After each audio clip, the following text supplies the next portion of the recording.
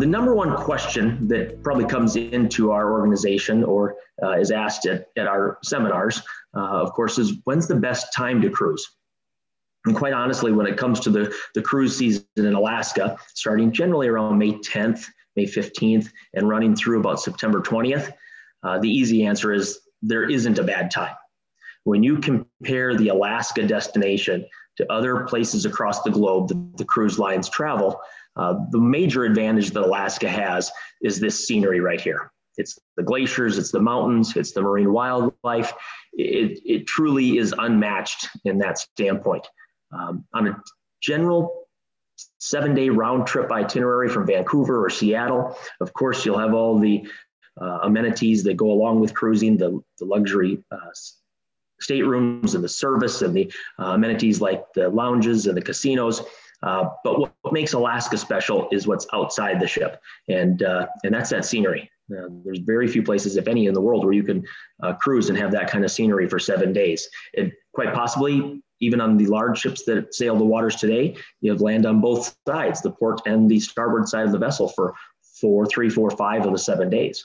Uh, so really, the, the answer to that, and, and I'm not trying to sound generic, uh, but really there isn't a bad time to cruise Alaska.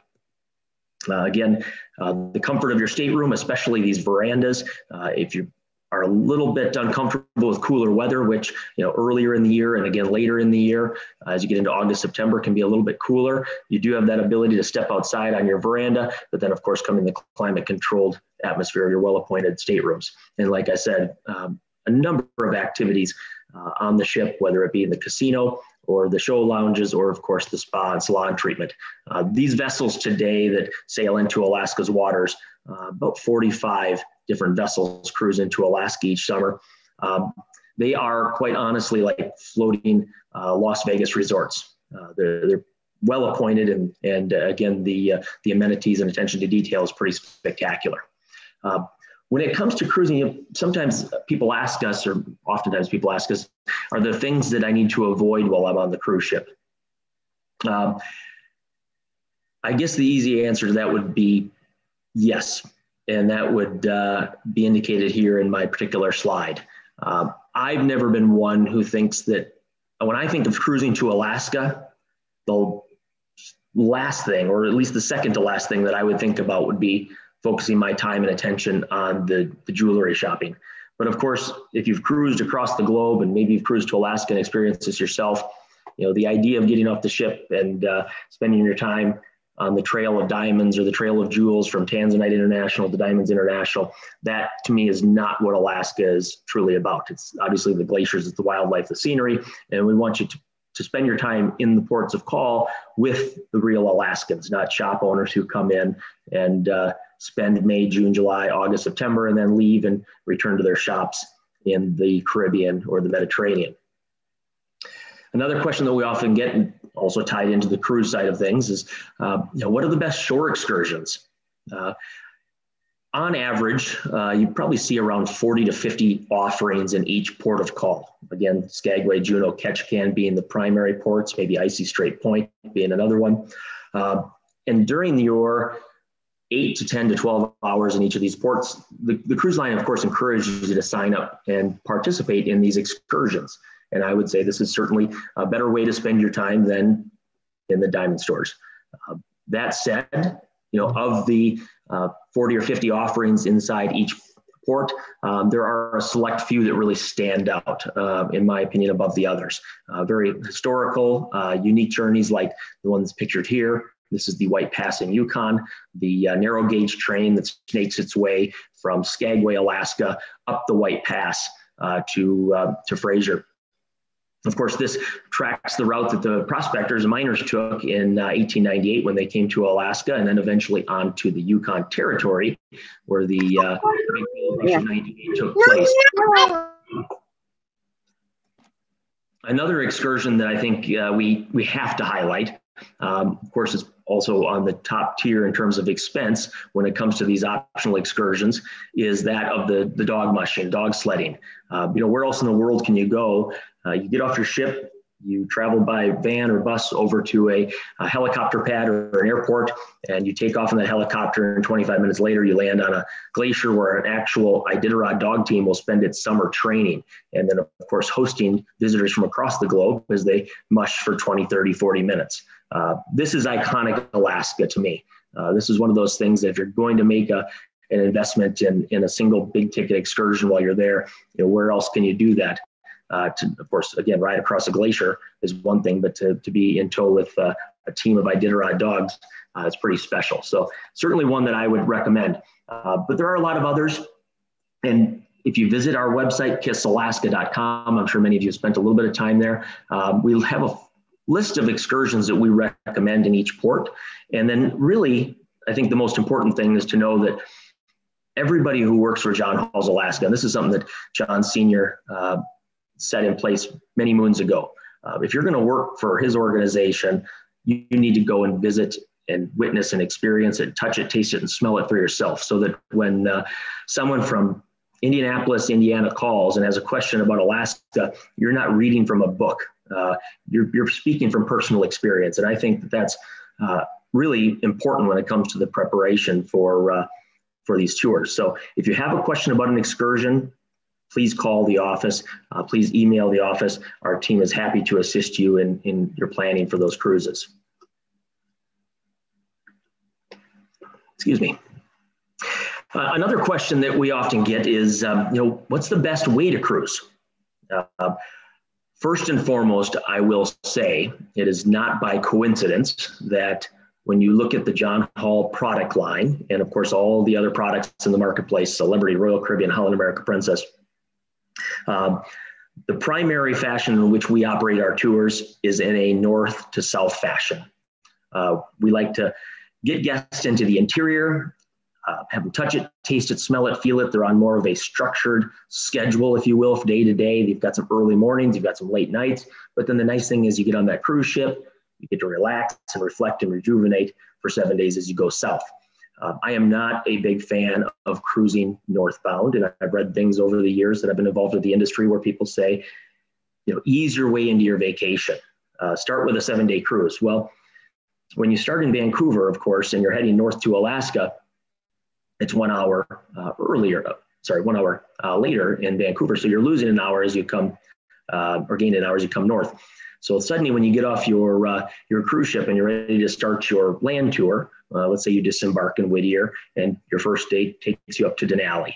Well, the next day might be your wildlife adventure. And if your wildlife adventure uh, is going to depart at 6 a.m., which many of them do, that means, of course, you're getting up at 4.30 or 5 to get ready for to have breakfast and get ready for that tour. And it's hard to adjust from cruise life where you slept and dined and danced when you wanted to now having a schedule. So our recommendation for those doing a land and cruise or a cruise tour, as they're sometimes referred to, uh, get the long flight out of the way, and then you know work your way south and, and kind of reflect and relax as you head back to Vancouver. Uh, now, again, this is all relative and to each their own. Um, I understand and love and appreciate what the uh, cruise industry has done for Alaska. I don't know how many Alaska cruises I've taken in my life, but it's been a blessing to probably do 25 or 30. I met my wife on uh, one of Holland America's cruise ships in July of 2005. So a lot of great memories uh, sailing the inside passage with the, with the big cruise ships. Uh, for me, the inside passage is everything. I'm one who really takes in the culture and the wildlife and the scenery uh, more than anything else. Even on a large vessel, you'll find me out on the deck of the vessel, scanning the beaches, looking for bears or eagles along the way. So, from my standpoint, I think the smaller the boat, the better in many ways. Because uh, nowadays, of course, you look at the size of these ships that are sailing into Alaska. Um, 25, 35, 4,500, 5,000 passengers. I think we had a couple that pushed that 5,000 mark uh, this last year, again, to 2019, that first came into Alaska. And, and they're wonderful. They have a ton of amenities and a lot of attractions and activities, and they're great for multi generational families. Um, and like I said, the service and, and, food on board is, is hard to match. Uh, but when you see the routes that the ships, the the true routes that these ships have to sail to get into places like Skagway and Juneau, you know, a lot of their time is actually spent out in the Gulf of Alaska in the open ocean because they can't sail the true inside passage, which passes through this route right here. Uh, therefore, I really lend a lot of my credit and, and love of Alaska's inside passage and Southeast Alaska in general uh, to operators like Alaska Dream Cruises. Uh, these are real Alaskans showing people real Alaska. And uh, it goes beyond uh, Ketchikan and Juneau and Skagway. Uh, there's a lot of destinations, Sitka being probably my favorite city in the state. It uh, once was the capital of Alaska, known as New Archangel when Russia owned it. Uh, but some incredible uh, cultural experiences in Kake. if you want to learn about the, the fishing industry and the Norwegian settlement of Petersburg, same thing with Wrangell and, and the beautiful glacier experiences there. Uh, these true inside passage cruises, I, I like to call them, are, are comforting in, in many ways. Uh, and of course, there's, a, there's an advantage when it comes to the, the wildlife and scenery along the way. And I think the best way for me to, to show you that example is just do a side by side of uh, this is the MS Zaandam at Holland America. Um, I remember correctly, that's about a 1,700 passenger vessel. And uh, this is the Baranof Dream with Alaska Dream Cruises. That's about a 46 passenger vessel. So you can imagine the areas that this vessel can get into that this one would only dream of. So again, a little different approach to, to sailing Southeast Alaska and something I recommend, especially for those that have been to Alaska before. Uh, maybe you want to consider a small ship adventure. And I know uh, everybody's heard of Viking and the wonderful product they put into the marketplace across the globe. And they really promote that small ship experience, cultural rich experience. Um, to me, I don't think there's a destination better suited for small vessels than Alaska. And, and again, the highlights along the way, a visit to native villages like Kake, uh, where you'll meet uh, a gentleman, Joe, here, who happens to be carving and doing a demonstration of uh, not only how to carve a totem, but what the meaning behind those totems are uh, the Raven, the Eagle clans. Uh, of course, the story that's told as you read from top to bottom uh, within that, that beautiful handmade piece of art. And then again, the, the wildlife. It's almost every day is a whale watching adventure when you're on the small vessels. it's not something that you have to add in to the cost of your tour. It's just part of the daily routine as you sail between places like Wrangell and Petersburg or Kake. And again, uh, just an example of, of places that they can visit. Of course, another question that we oftentimes get uh, about any cruise, not just in Alaska, but primarily here, uh, will I get seasick? Uh, again, going back to the previous uh, mentioned and highlighted uh, cruise product, the, the small ship cruises of the Alaska Dream Cruises, um, or the smaller catamaran style trips through the inside passage, those offer a level of protection because because of the inside passage, the islands actually protect you from um, storms and waves that might be coming out of the Gulf of Alaska.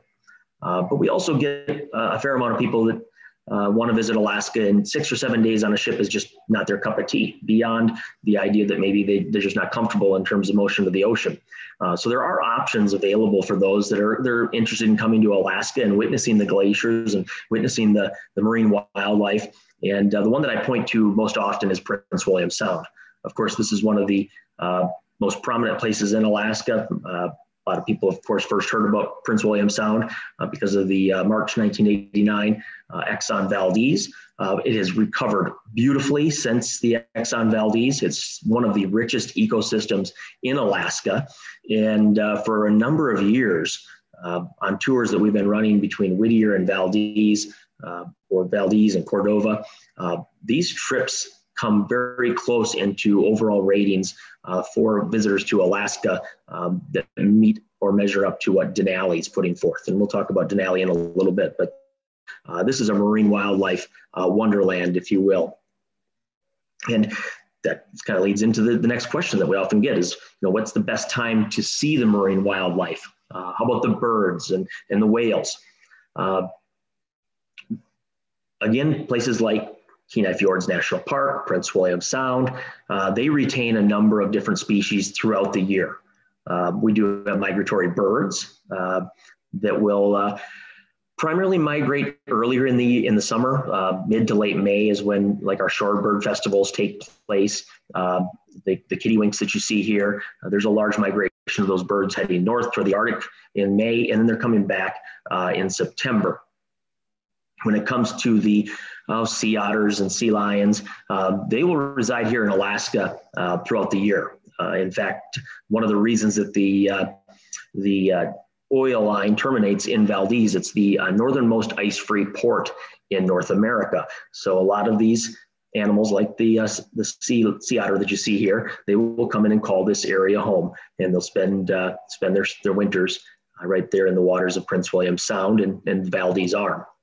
When it comes to the whales, um, of course, the wild the whales are migratory species as well. But a uh, little known fact about them is, is really the only uh, population of whales to migrate out of Alaska during the fall and into the winter is the adult whales. Uh, the juvenile whales uh, will stay in Alaska year round. So certainly better opportunity to see whales May, June, July, August, and into that early part of September. Uh, that's kind of our, our arch for peak season. Uh, but really, you could you could travel to Alaska right now and have a chance to see a humpback whale, especially in the Inside Passage near uh, Glacier Bay, uh, Frederick Sound, very popular areas for seeing the, the humpback whales. Uh, but of course, orcas as well, which we'll see in, in again Kenai Fjords and, and Prince William Sound.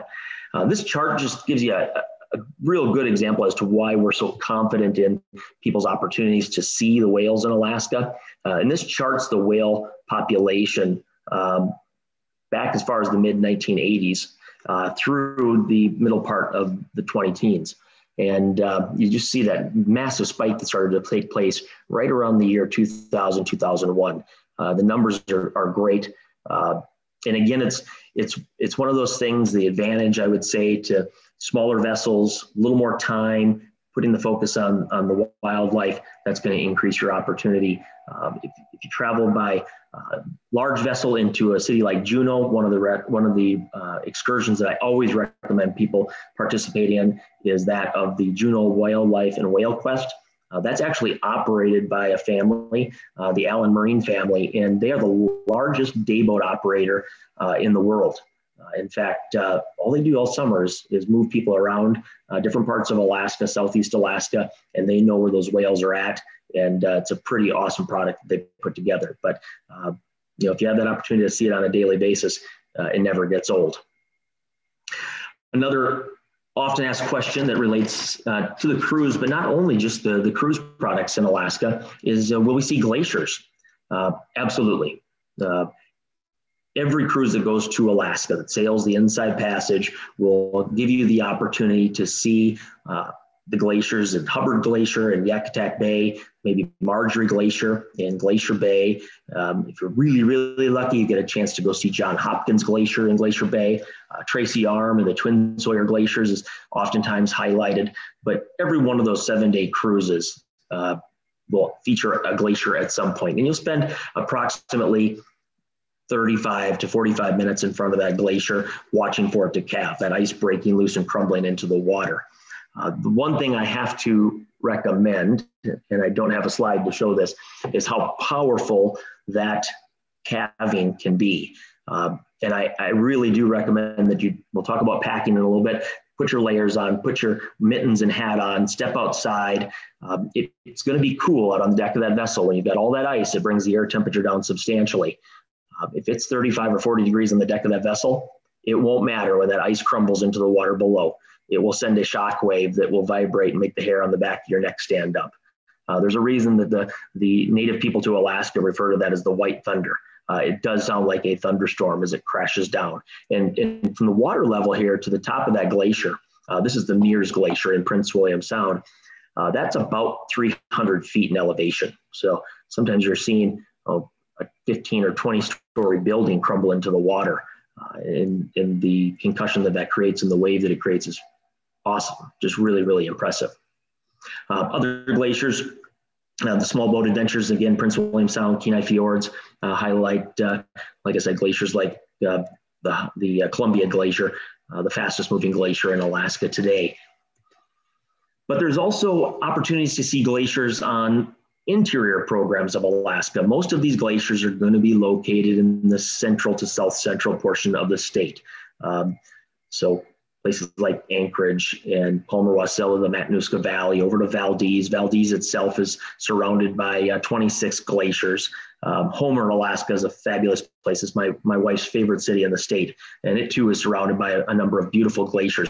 We call these hanging glaciers or alpine glaciers, like you see in the uh, picture here. But these inland or valley glaciers, uh, like you see here, this is the Matanuska Glacier you know, we'll actually have a chance on uh, different itineraries, or if you're traveling through Alaska by RV or taking your rental car and traveling through Alaska, the Glenn Highway. Uh, this picture is taken right around August 25th, I would say, maybe September 1st. Uh, just comes to life as you travel along the rivers and through the valley and eventually up onto the Matanuska Glacier here. Uh, this is, like I said, the largest inland glacier left in the state today. Another question that we get, and this one is again hard for me to, to answer, uh, is when's the best time to visit? And of course, as, as an ambassador to Alaska, uh, it's my job to tell you that there isn't a bad time. You know, we can leave January 1st and come back December 31st, and it's going to be spectacular. And it will be. Uh, and you'll see a number of different seasons, a witness uh, a number of different cultures, and uh, have a number of different experiences along the way. Um, I think from the standpoint of summertime visits, which again I said start right around the second week of May uh, through again the second week of September. Uh, each season has its its plus, uh, starting with late May and into early June. Uh, I will say cruising is fine in early May. I'm not as prone to recommend sending you to the interior of Alaska in a place like Denali in early to mid May.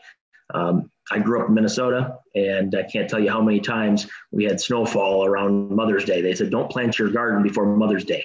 Um, in Alaska, it's actually Memorial Day. You really don't want to plant your garden and put the flowers in until after Memorial Day. So there's a couple week difference there.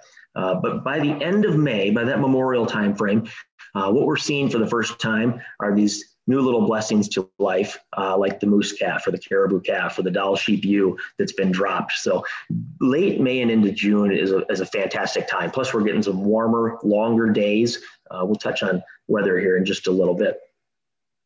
July and through the early part of August, uh, this is our, our flower season. Uh, you'll see massive cabbages in different destinations through the interior. Of course, the Matanuska Valley, uh, part of the New Deal. Uh, and uh, they can grow some incredible vegetables there. If you can imagine 80, 85 pound cabbages and 10 pound carrots and 12 pound squash, uh, that's the rich, fertile farmland uh, filled by the, uh, the glacier sediment left behind.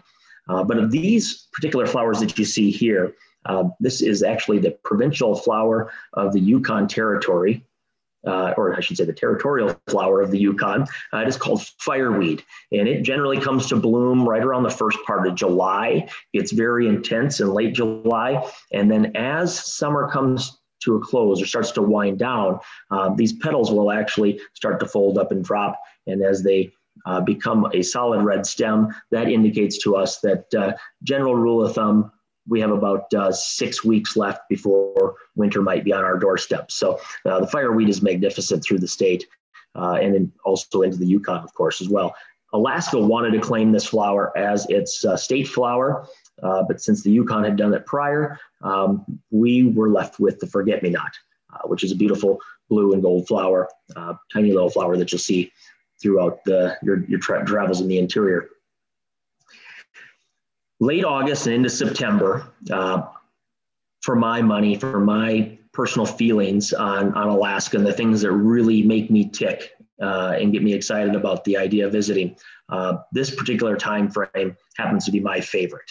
Uh, what I love about late August into September, right around August 20th, we start to see the fall color setting in in Alaska. Uh, generally, by about September 1st or September 2nd, Denali is getting its peak change in fall color, fall foliage. Uh, and it's very different from the foliage that that uh, I grew up with in Minnesota, or if you've ever been to Nova Scotia, New England, Nova Scotia, or to uh, the Great Smoky Mountains and seen the fall colors there. Of course, those are in the hardwood trees, and, and it's gorgeous. In Alaska, the big change actually happens in the tundra, uh, especially as you're up into Denali and what's now known as the subarctic of Alaska. Uh, all the dwarf plants and berry plants change from the green to this very vibrant red and orange, and that landscape is dominated by, by these plants. And then you get the green and the white on the mountains from the snow and a blue sky, and it really sets up to be uh, a pretty spectacular sight. Uh, the other thing that I love about fall is we're into the mating season of these animals. Um, now, the grizzly bears and the brown bears, they actually mate in June, um, where the other big four that we'll talk about, the uh, the sheep, the caribou, the moose, and the wolf, uh, they have their mating season in the in the fall months, in autumn. So as as that rut or that mating season starts to uh, to come upon us, you tend to see a little bit more wildlife, uh, just because the the natural movement and and uh, the desires, I guess, of, of these animals as they uh, venture out to find their mate. Another advantage to September, and if we're talking about shoulder seasons and, and, and in Alaska tourism, uh, there's always a, a, bit of an arch, July being kind of the peak season, prime time to visit Alaska. Of course, for many people that are traveling as families, July works because the kids get out of school in June and maybe have to go back to school in August nowadays. Uh, weddings and everything else happen, graduations in June. So July tends to be peak. Of course, the temperatures are as warm as they get in, in July, so that tends to be a, a hot spot. Um, as you shoulder off of that June and then May or August and September, um, if I had to pick between the two, far and away, again, my shoulder season of choice is going to be September for the reasons uh, stated the, the fall colors, the rut, and then the opportunity now to see the aurora borealis.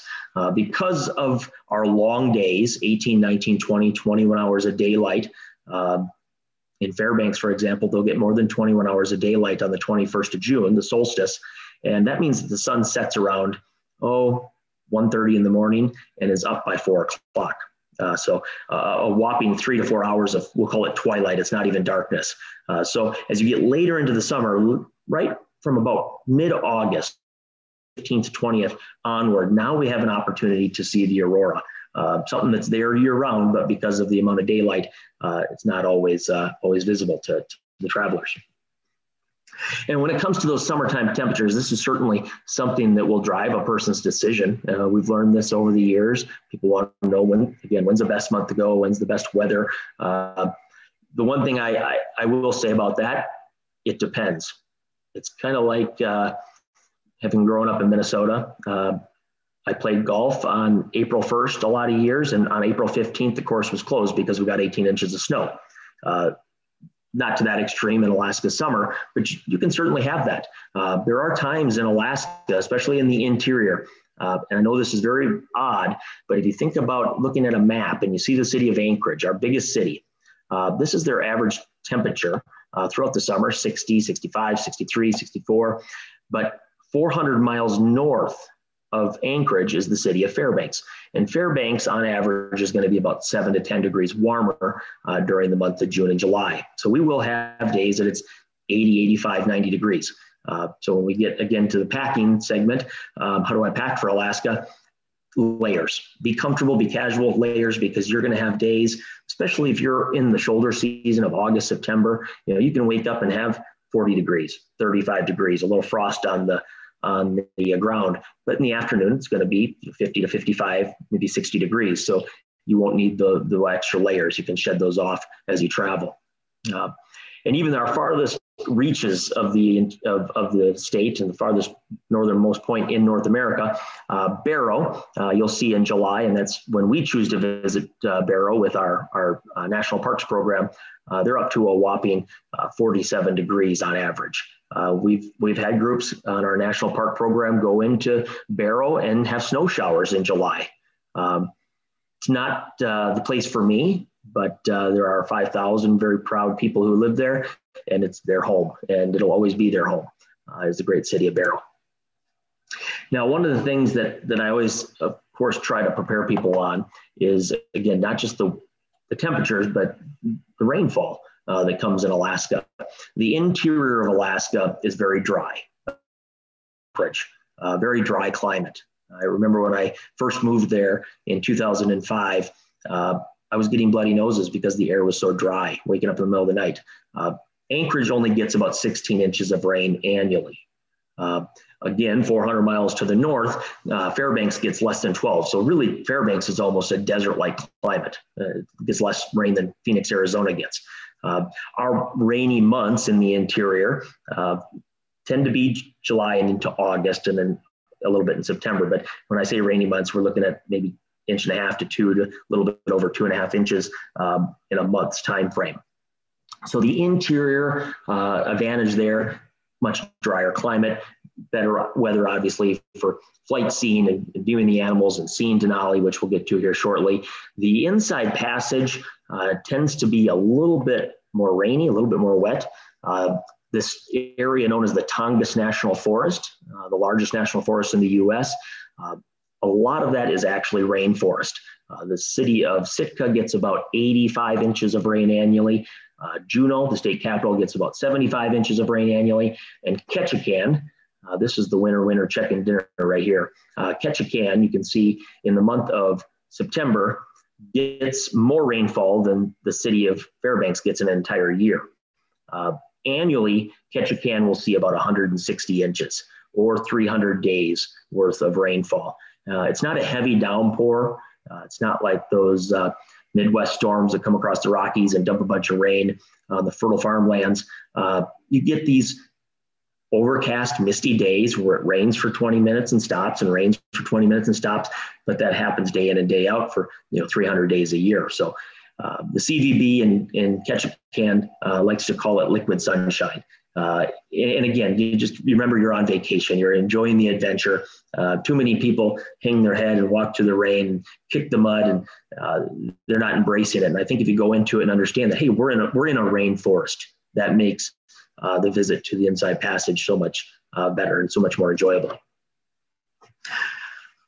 Funny enough, um, as much as I love August, September in Alaska, and really I love all the months, uh, February and March have become one of my favorite times to visit the state. It's a it's a different look. It's kind of a look behind the veil of, of what Alaska is really like. Uh, during the summer, with the large volumes of people traveling in and out, I think residents tend to be a little bit more And in the winter, um, you know, they're more apt to and have you come into their home and enjoy a cup of coffee or hot cocoa and, and, and learn about life in Alaska. So again, if you're not afraid of putting your foot out there and trying something a little bit different, I would highly recommend visiting Alaska in the winter. Um, and the temperatures aren't as bad as they might sound or you might read. Um, and I know you're going to think this is interesting when I say it, but uh, Fairbanks is a dry cold, much like Phoenix is a dry hot. Uh, that that dry cold air uh, feels so different from that moist air that that I grew up with in Minnesota. Uh, 25 below in Minnesota, just you didn't want to go anywhere. Um, I've been outside watching the aurora at 25 below in Fairbanks and thought nothing of it for two or three hours. Of course, you pack accordingly. Uh, you've got the heavier down jackets that are rated to 40 or 50 below. You've got the mittens, the hats, the long johns, um, and you and, and, you just kind of hub and spoke every day, uh, where you, are not forced to be out in the temperatures for long, uh, long stretches. Now, as you see, uh, this is for Fairbanks, the average temperatures in uh, February and March. Yes, the average low in February is negative 12 with the average high of around 11. Um, in March, here we're minus four. This is on uh, Celsius, of course, and then uh, 25 Fahrenheit on the high side, which would be uh, which would be pretty comparable to about, I'd say, 35 in, in Minnesota, uh, especially as we get into March. We're getting those longer days. Uh, now we're up to 12, 13 hours, depending on what time of March. If you catch the, uh, the time change, uh, we're going to be somewhere around 13 hours of, of daylight at that point in March. So we're starting to get some, some longer days as we come out of January into February and then March. And March, of course, uh, brings a lot of excitement to Alaska. This is for a lot of a lot of our visitors. If we're focusing on a winter tour to Alaska, you know, what can we do? Uh, what are what activities are unique to Alaska that would get me excited about visiting this destination? Well, it starts with the Iditarod. The first uh, Saturday in March, the Iditarod runs its uh, ceremonial start down Fourth Avenue in Anchorage, Alaska. There's probably 100,000 people that lines the street of Anchorage and watch these mushers come out of the chute every two minutes. Uh, a lot of cheering. And then the next day on Sunday, up in Willow, Alaska, is the official start of this race. And that's the start for, of this 1100 mile race. And I, I, like to call it the world's longest tailgate because you'll see people on teams of uh, four wheelers and snow machines or snowmobiles, as we call them, uh, running out on the trail 10, 20, 30 miles, and also dragging a barbecue grill behind them and a cooler. And they'll sit out there all afternoon on Sunday cheering these mushers as they as they come up the trail and work their way towards uh, Nome, Alaska. Other adventures that are, again, unique to Alaska's winter. Uh, flightseeing. March is a spectacular time for flightseeing because the uh, the precipitation is low, skies are clear, uh, so there's an advantage there. I always feel like Denali itself is bigger in the winter. Uh, and I think, of course, it has something to do with the amount of snow on there, but those clear skies certainly help with that. And then not only can you land near a glacier, but you can actually walk up to these glaciers uh, and see those intense blues like the Knik Glacier uh, outside of Anchorage. Of course, if you're in Alaska in the winter and we're talking about Iditarod programs, well, then you definitely have to go uh, for a run on a dog sled. Uh, you can do this uh, in Fairbanks is a very common place for people to participate in that activity. And then for those that have never done it or those who just thoroughly enjoy it, of course, the opportunity to ride some snowmobiles. Uh, it's always fun when we get a group from Texas or Florida or Arizona who've never been on a snowmobile before, but they want to try it. Uh, a little bit like driving a boat at times, I guess. Uh, but it's a, a, great experience to have. And there you also see the Alaska pipeline that runs uh, from Prudhoe Bay down through Fairbanks and on to Valdez. So a neat highlight when you're outside of Fairbanks on those uh, snow machines. And then, of course, who doesn't love a good snowball fight? Uh, what I want to show you actually in this picture, uh, this is a, a photo that uh, one of our guests sent us a couple, a couple winters ago. this is the Alaska Range in the background. This picture is taken from Talkeetna, which is on the south side of Denali near Denali State Park. Uh, as the crow flies, we're about 85 miles uh, to that mountain. That is the Great One Denali, 20,310 feet, uh, the highest point in North America. Of course, over here you have Foraker, uh, the second highest mountain in that range, and then Moose's Tooth. Uh, stunning picture on a clear day. And as I said, they just feel a little bit bigger in the winter. But to me, uh, if you're looking for a true Alaskan religious experience, come in March and spend at least a week and enjoy these opportunities. Uh, I took this picture three years ago from that same location where that snowball fight was taking place. And this was about two o'clock in the morning. Um, the aurora that was coming off uh, the north face of the Alaska range made it so bright and so intense that you can actually see Mount McKinley, or Denali as it's known, the true name, 80 miles away at two o'clock in the morning in complete darkness. It backlit that range so beautifully. Uh, there again is Foraker Moose's Tooth. So if you're interested in seeing northern lights, I, I, mentioned earlier, you can start to see them in mid to late August.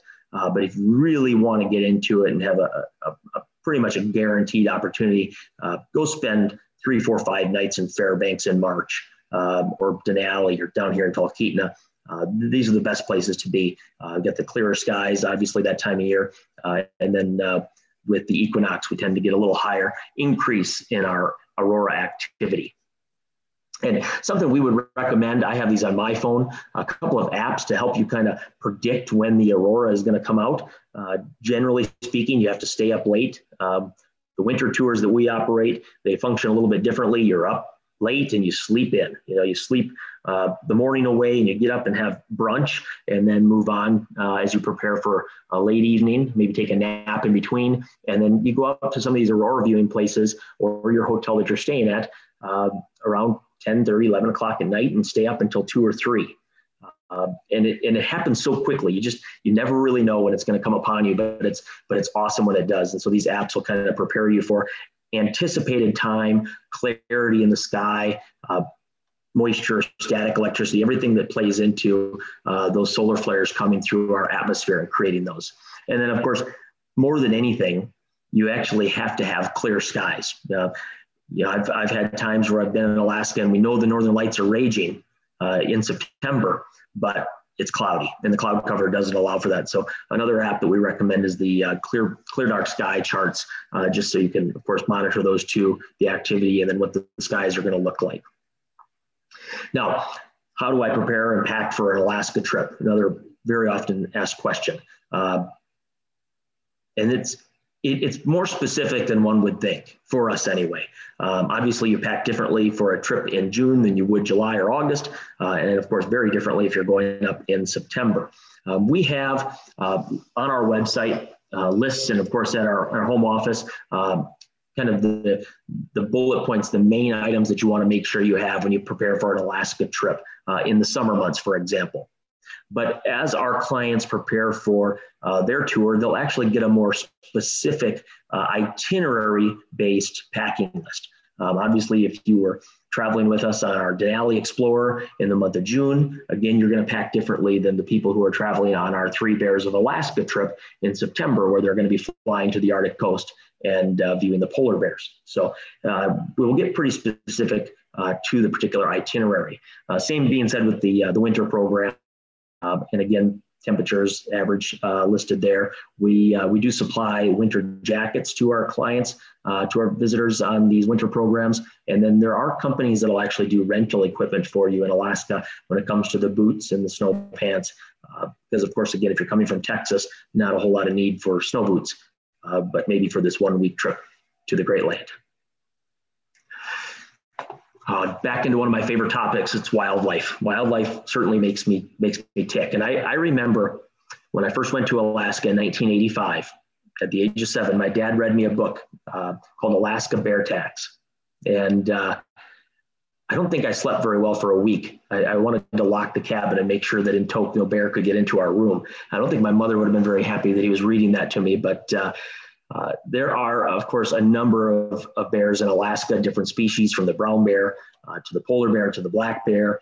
Uh, grizzlies, really a subspecies. It's, it's kin of the, the brown bear. They're the same bear, just different diets. Uh, the great thing about Alaska, especially May through September, there's always opportunities to see bears. Uh, the brown bears, for example, or our grizzly bears, uh, they're one and the same. Like I said, the difference is the grizzly bears are in the interior here. They're a little bit smaller. The brown bears tend to travel through the coastal regions and have access to that salmon, so they grow to be a little bit bigger, going from maybe six or 700 pounds up to now 11, 12, 1300 pounds are these brown bears. But again, just an example for um, trips that you can take right out of Anchorage. If, you're a bear enthusiast and you want to come in a couple of days early and fly out to see some of these uh, hallowed grounds of, of, of, bear territory, whether it's Brooks Camp, which I'll highlight in just a moment, that's the most iconic, Hallo Bay, Geographic Harbor. Uh, these are all fantastic locations to go and see the bears. And, and like I said, from the time they come out of their hibernation in May through September, there are opportunities uh, throughout the state to, to witness bears. Uh, this is the one that gets the accolades, the, the one that's probably promoted the most. In fact, I've seen this picture used to promote bears in Denali. Um, and I guess that they're brown bears, uh, but they're certainly not uh, chasing salmon like these uh, big brown bears are down in Katmai National Park and that's Brooks Falls. Uh, the month of July brings the salmon run, and therefore that's why these approximately 70 to 80 bears uh, migrate into this area um, along the Katmai coast, and they spend their time just hanging out in the water and chasing those sockeye salmon around. Uh, I, have been to uh, Brooks Falls a couple of times and most often on a, on a visit out here where you spend maybe six or seven hours at the falls, I would say on average a, a visitor probably sees eight or nine of these big brown bears in the water. I've seen as many as 22 or 23. And some of my more interesting encounters with the bears actually happen on the trail uh, walking to and from the falls. Uh, I think that that can be just as exciting as actually seeing the bears catch the salmon in person there. Other bears, um, of course, the polar bears. Uh, I think for a lot of people uh, that are targeting our Three Bears of Alaska adventure. Uh, the idea of going to the North Slope of Alaska and coming encounter with one of these massive uh, big boys is a, a pretty special adventure. Uh, like I said, we, we actually take guests up to Kaktovik on our Three Bears of Alaska right around the first week of September each year. And the reason these polar bears are here, there's about 80 polar bears that live out on the uh, Breaker Islands off, off of Barter Island or Kaktovik. Very large, very high seal population here uh, year-round basis. So these these polar bears hang out here close to Kaktovik uh, throughout the year. But in late August and into September, that's when they have their whaling season. And those polar bears, of course, like to chew on the remains of those bowhead whales that the natives ha- harvest. And uh, they'll come in a little bit closer and a little bit closer and a little bit closer to those villages and uh, give us a, an up close look uh, will actually view these polar bears two different ways by land on a on a bus or van, and then you'll actually get in small boats and go out in these breaker waters uh, through, through the breaker islands here and get up close uh, and, and take pictures like that. Of course, Alaska is a outdoorsman's paradise, a fisherman's paradise. Uh, I often have uh, conversations with my neighbor when he comes back from Colorado or Montana about the the fish that he catches, and I say, "What? When are you going to come to? Uh, when are you going to come to Alaska and catch a real rainbow trout?" Um, I have never caught a 30 inch rainbow, but I've seen a fair amount of them caught. And in late August and September, when the salmon are done running, these uh, trout come up out of the river system, out of the lakes and into the river systems, and they will literally eat all the eggs that are bouncing off the bottom. And they can put on about a pound a week. And I've seen rainbows that measure in diameter uh, 18 to 19 inches around the belly right there. Uh, these are world class trout for sure. Uh, the rivers like the Naknek and the Kvichak, and of course the Kenai, the most well known. Uh, for people who want to fish in the rivers and target the, the uh, trout fishing or the salmon runs that happen in the river system. Uh, it starts in May. Really, our peak runs for the salmon, June and July. Uh, the last run of the salmon is the silver salmon. They'll actually enter the water systems uh, late to mid August and into early September. Uh, but for those that love to catch the uh, the trout, the dolly varden, the rainbows, like I showed there, actually later is better. And like I said, after those salmon now have all spawned out, that's when those uh, rainbow trout and dolly varden love to fill their bellies with those uh, salmon eggs floating down the river. Um, now the the regulations on the waterways. Stream or river versus saltwater are very different. And, and something I always encourage people, uh, whether you're driving yourself to Alaska in an RV uh, or you're flying up with a group of friends, make sure you pay attention to the regulations. And really, my recommendation is get yourself a good guide. Uh, because the Game and Fish Department in Alaska is probably the strongest uh, department in the state of Alaska. And uh, they will literally close down sections or east or west bank of the river uh, during the middle of the night and uh, you know they, they have uh, such regulations as you can fish with artificial bait on Wednesdays, and you have to fish with uh, bobbers and a worm on Tuesdays. No, that's that's a little bit of an exaggeration, but um, certainly want to make sure you know what you're getting into before you start fishing, because uh, they definitely care and love their assets and resources, and they protect them in Alaska. Deep sea fishing for me growing up was not that exciting. The first time I caught a halibut, I thought I was reeling a, uh, a flat barn door off the bottom of the ocean. Uh, when you catch a hundred pound halibut and bring it up to the to the surface and they swim flat like that, it's uh, it's quite a struggle for a, for a young man or woman. Uh, but I will say over time, um, I've come to really appreciate fishing in Southeast Alaska and outside of Seward, Alaska, uh, outside of Kenai Fjords. This is some of the best fishing in the world, not just for the halibut, for the salmon. Um, you see here again on this chart, we have king salmon that are in the waters getting ready to run into those rivers uh, in May, June, July. Uh, the silver salmon come a little bit later. The chums and pinks uh, the pinks run every other year. Uh, the chums will come in there uh, July and into August. And really, from from a deep sea standpoint, halibut fishing is, is really good from from May till September. It'll tail off uh, by mid to late September. And then some other great, uh, like the rockfish and lingcod along the way. And the wonderful thing with the fishing in Alaska is uh, if you do it right, uh, go in and spend a couple of days in Seward and do some fishing or go to Sitka and do some fishing. Uh, you can have all that fish processed uh, packed up, individually wrapped, and you can either take that home on the plane with you or you can have that uh, sent home once you return uh, to your home city.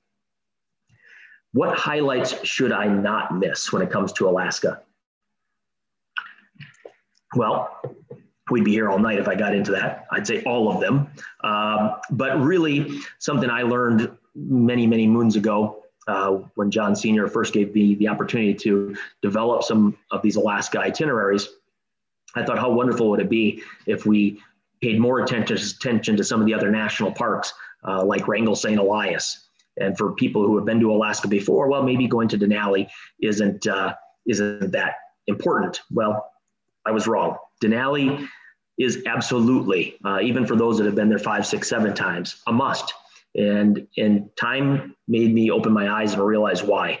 Uh, again, much like Prince William Sound, every day is different in Denali. And there isn't a place in Alaska that I found where you have the concentration of the different species of animals in the mountain range in the subarctic uh, atmosphere and ecosystem like Denali. So whether it's our, our moose, our caribou that you see here, our sheep, uh, this guy right here uh, is actually the reason that Denali exists. a gentleman named Charles Sheldon pushed for the protection of the Dall sheep. And in 1917, Denali became a national park, Alaska's first national park. So uh, we, I love seeing these Dall sheep. They're just very majestic. And you can, you can see 100 Dall sheep a day.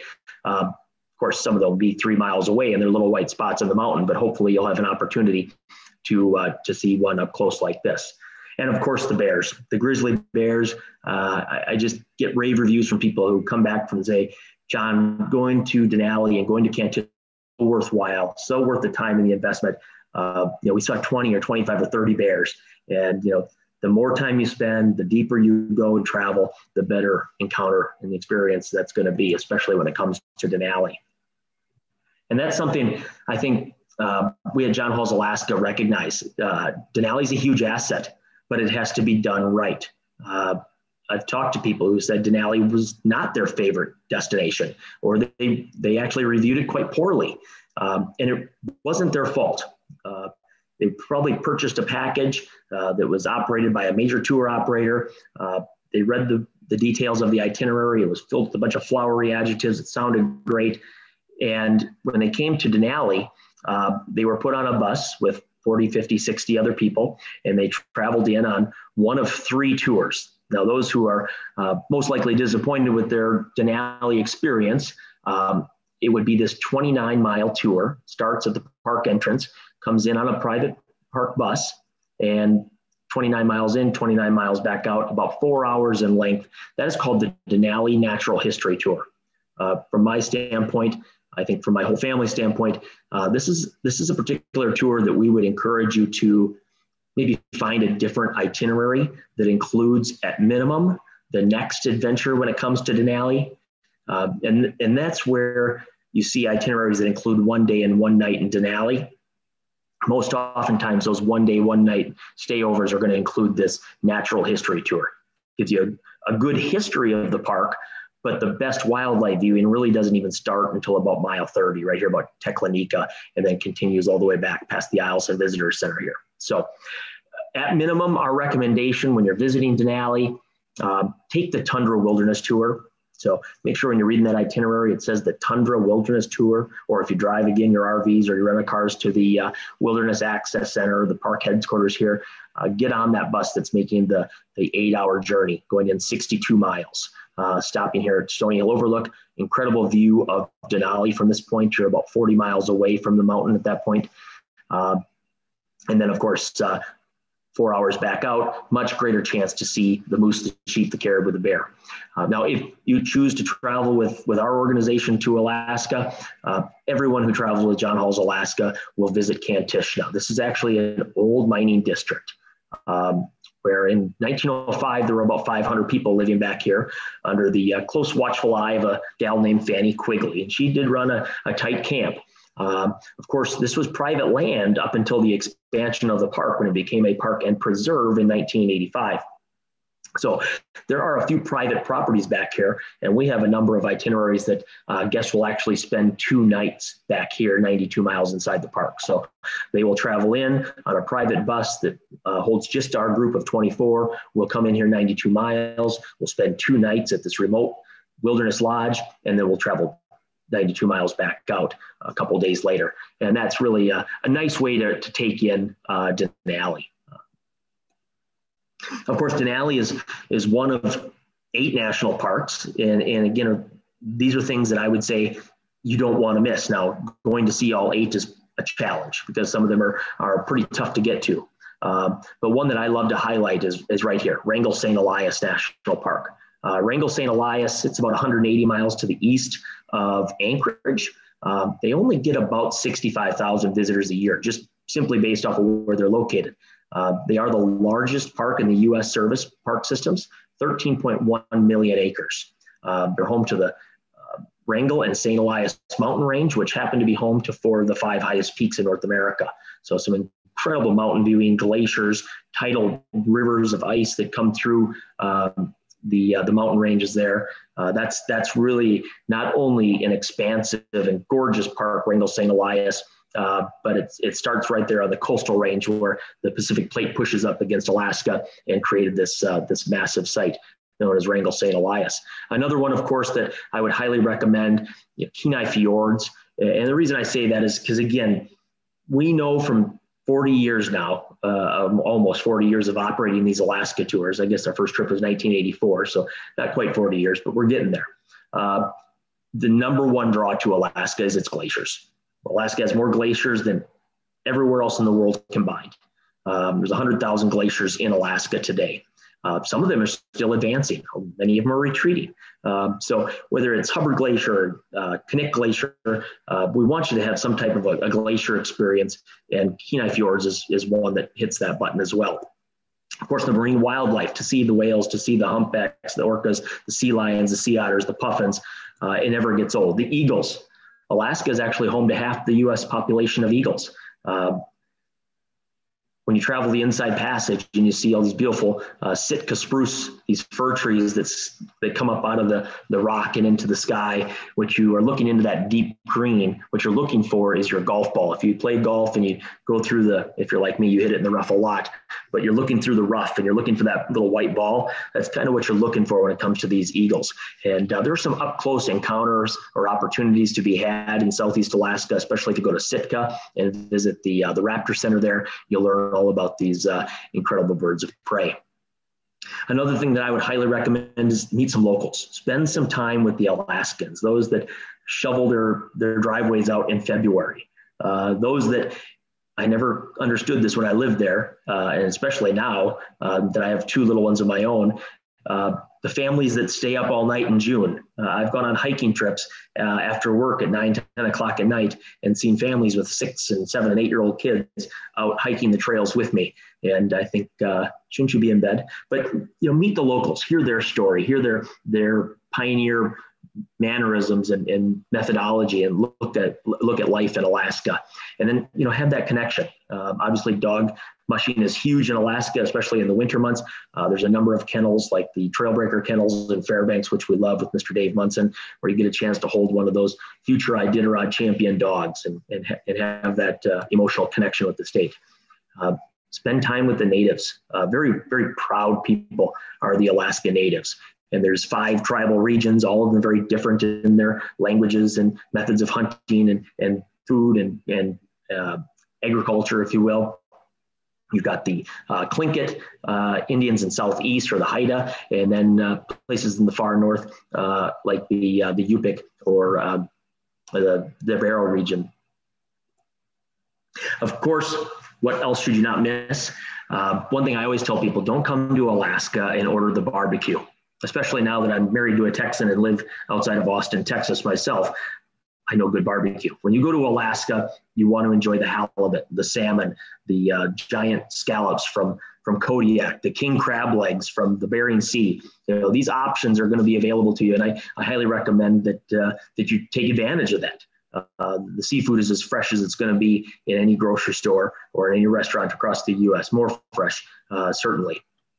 But if you're not a fan of seafood or you've got allergies to seafood, uh, and this is a question that comes up, what if I don't if I don't like salmon or halibut?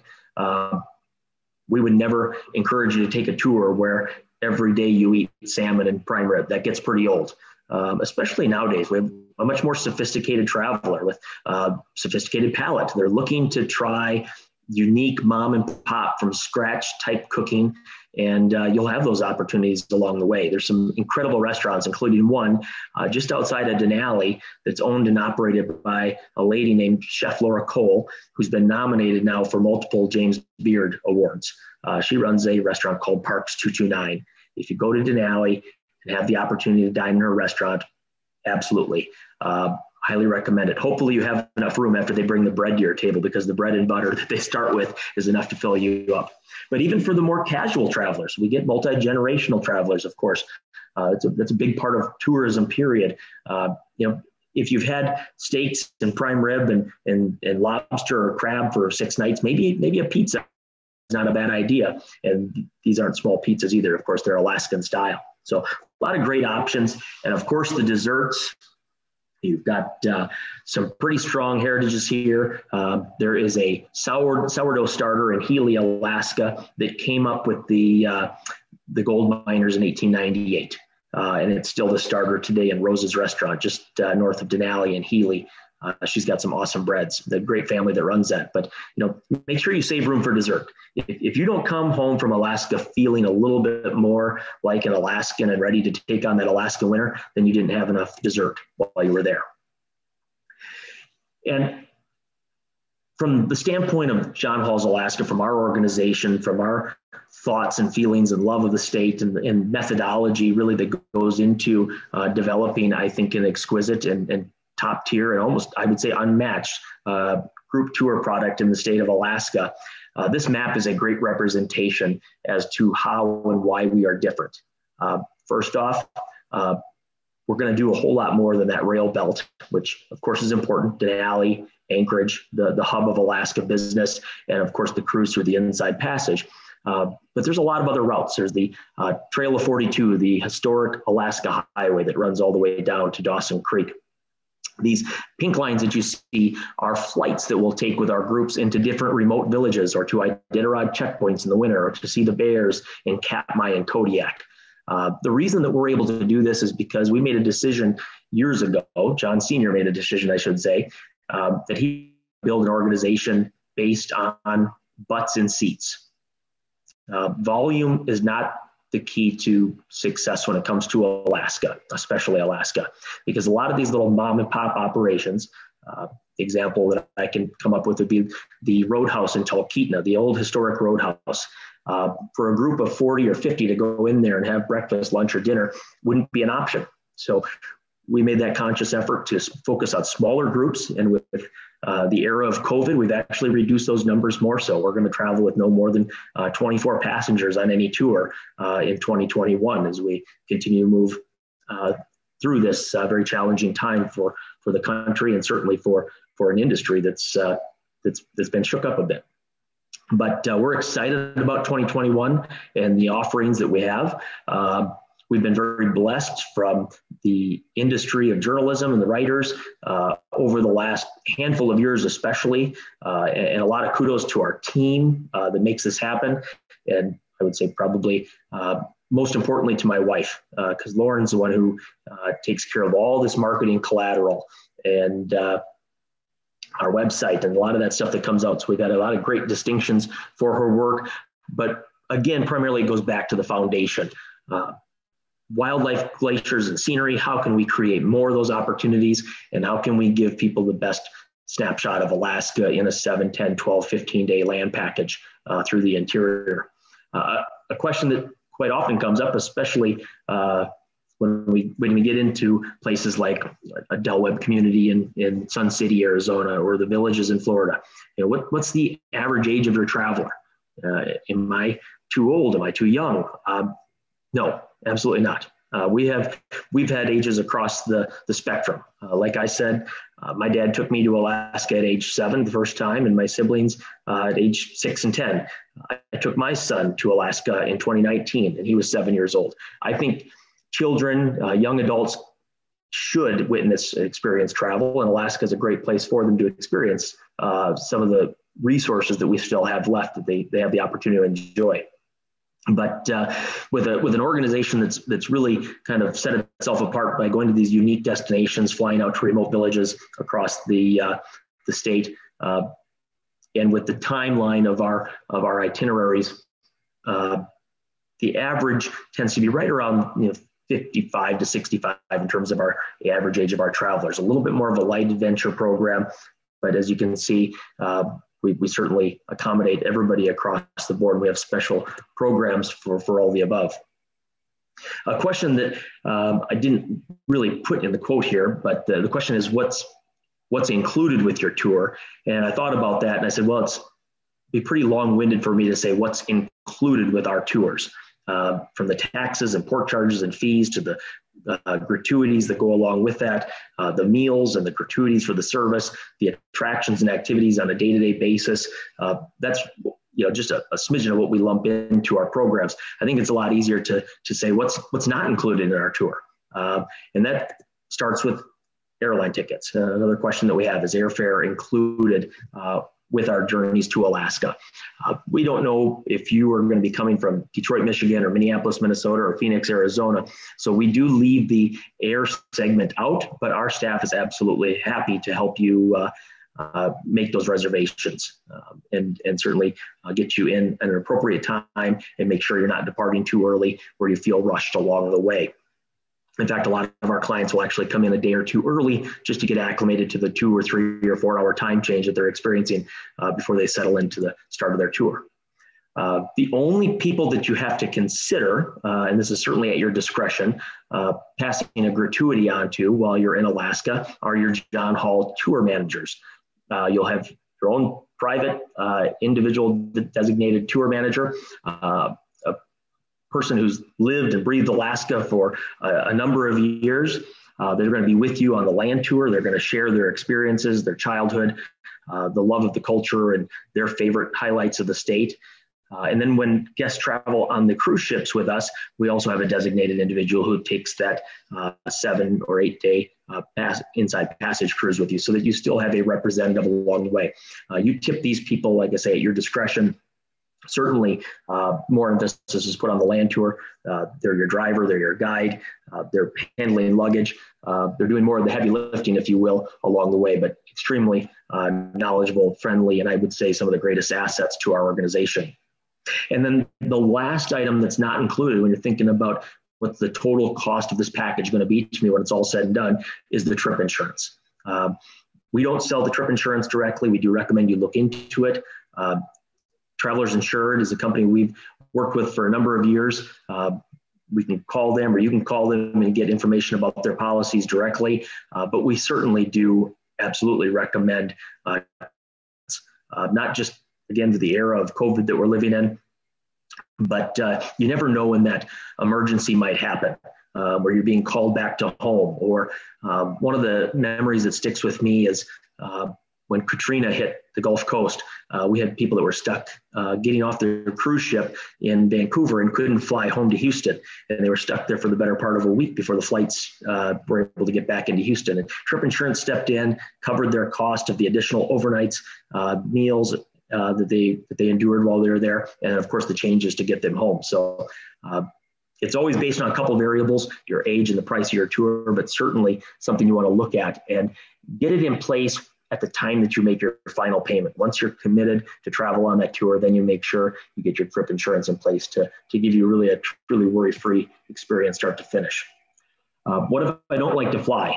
Well, I can look at this question two ways. Um, we've had people over the years we've been operating these trips that certainly have no desire to fly, won't get on a commercial airline and fly to Alaska, but they want to see Alaska. Um, and they want to see the interior of Alaska. They want to see Denali. So the way that we've accommodated these guests in the past is either A, they drive their vehicles to Alaska, uh, which we've had a number of people do, and they park their vehicles at our office in Anchorage uh, or at our, at our, maintenance facility there. And then they take a, a tour and then they drive back on the Alaska Highway to the lower 48 later in the summer or in the fall.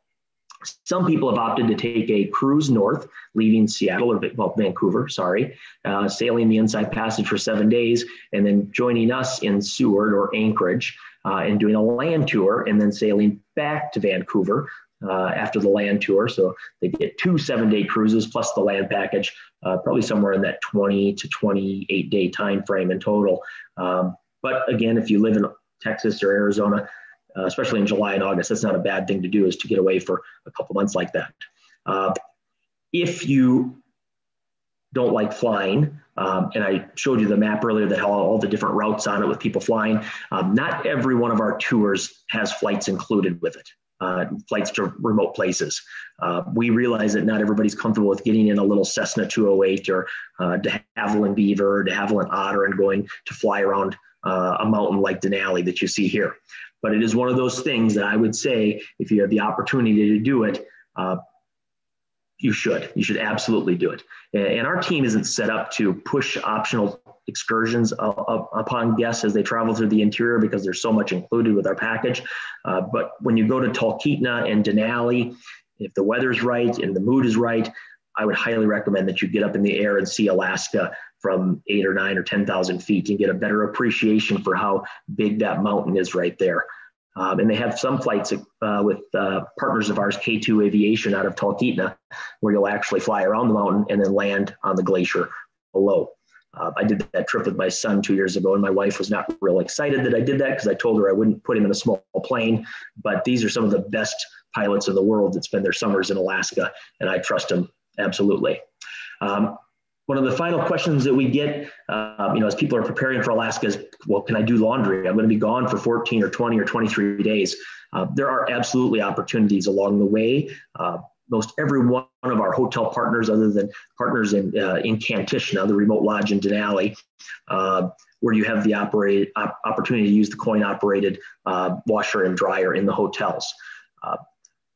My feelings on that, I can go either way. Um, I don't want you to go on vacation and spend time in line waiting for a washer or dryer to become available. Uh, so if you're taking a cruise, my recommendation is pay them the extra $25 and let them wash all your undies and socks and fold them up and send them back to you in a, in a basket with a big bow around it.